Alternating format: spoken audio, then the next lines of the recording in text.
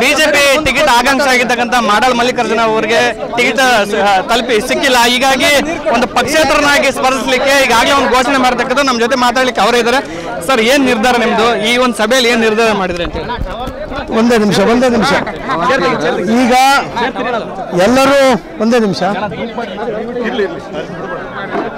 ಪಕ್ಷೇತರರಾಗಿ ನೀವು ಕಣದಲ್ಲಿರಬೇಕು ಅಂತೇಳಿ ಪಕ್ಷೇತರರಾಗಿ ಕಣದಲ್ಲಿರಬೇಕು ಅಂತ ನಿರ್ಧಾರ ಮಾಡಿದ್ದಾರೆ ಜನಗಳ ನಿರ್ಧಾರಕ್ಕೆ ನಾನು ಬದ್ಧನಾಗಿದ್ದೇನೆ.